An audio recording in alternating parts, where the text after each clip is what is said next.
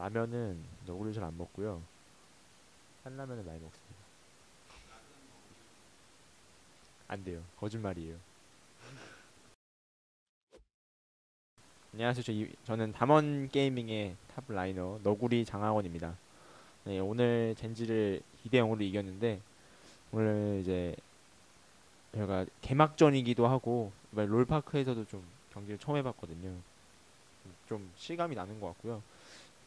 젠지를 어떻게 보면 저희 팀에 좀 강팀이라고 평가하는데 오늘 좀 2대 0으로 이겨서 어, 굉장히 좀 기분이 좋고요. 네, 기분이 기분이 좋은 것 같아요.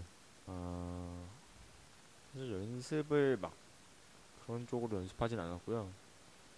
오늘 좀 그냥 좀 어, 어, 어떻게 하다 보니까 그냥 좀 데스가 뭐 좋고 약간 좀 안정적으로 보였던 것 같은데 사실 그 부분이 좀 마음에 들지 않나요? 저는 좀 그만큼 제 강점이 안 보였다고 생각해요. 솔직히 오늘 게임에서 게임에서 솔직히 적이 그러니까 탑이 서로 막 바뀌거나 그랬어도 저는 그냥 이겼 그냥 우리 팀이 잘해서 이긴 거라 생각하지 제가 잘해서 이겼다고 생각하지 않기 때문에 확실히 이게 좀 어려운 것 같아요. 이게 단점을 없애는 또 장점이 또 묻히고 장점을 부각하려니 단점이 보이고 이런 게 좀 조율이 필요 앞으로도 더 필요할 것 같아요.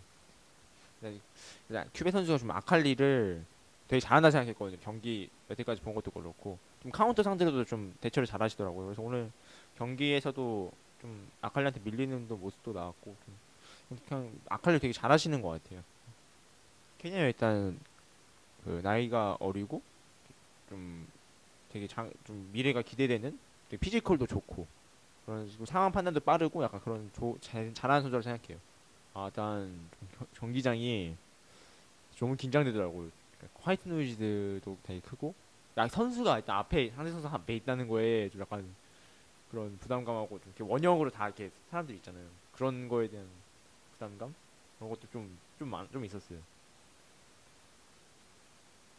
일단은 확실히 좀 기자회견하는 스케일이나 사실 경기장에서 긴장한 거보다 저기서 긴장한 게더 많은 것 같아요. 저기 좀 처음 들어갔을 때 너무 무섭더라고요. 약간 취, 취, 취조하는 느낌? 약간 그래가지고 확실히 좀 스케일이 다른 느낌인 것 같아요. 음, 이런 경기장도 그렇고 기자회견도 그렇고 팀원들은 되게 자신감을 얻을, 얻었을 것 같고요. 저도 그렇고 강팀을 잡은 첫 경기부터 강팀을 잡은 2대 0으로 잡은 거에 대한 자신감 얻었을 것 같아요.